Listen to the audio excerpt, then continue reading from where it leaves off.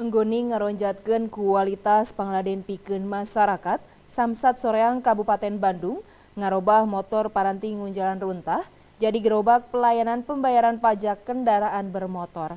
Jenglengan eta gerobak samsate dipiharap bisa ngarojong warga sangkan lebih gampang nalika mayar pajak kendaraan.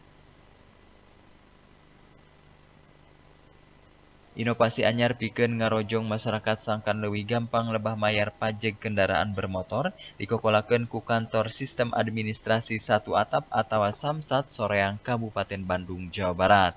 Eta kendaraan kikiping tilu anu samemehna mangrupa gerobak runtah teh ngajang gelek jadi kendaraan pikeun ngaladenan mayar pajak turta di ngaranan gerobak Samsat.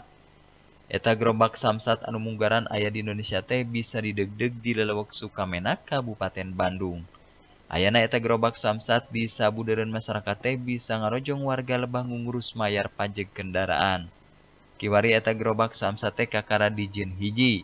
Tepamohalan pihak samsat soreang bakal nambahan jumlah gerobak upama nilikana pendapatan asli daerah jadi ngaronjat. Cangkingan tina hasil pajak jero sabulan dina bulan Februari gedena 2 miliar rupiah, 25 tepi ke 27 persen mangrupa hasil cangkingan tina gerobak samsat. Gerobak sampah tadinya, uh, cuma karena kami di sini sampah itu sudah diangkut langsung oleh Dinas Kebersihan Kabupaten Bandung, sehingga kendaraan yang ada di kami itu memang tidak dimanfaatkan jadinya.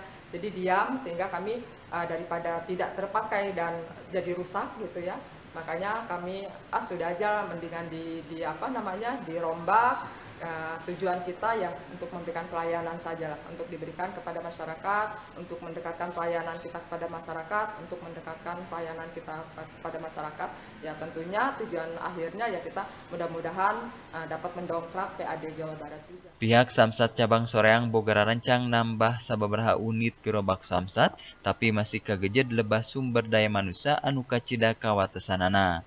Rezi Tiapra saja Bandung TV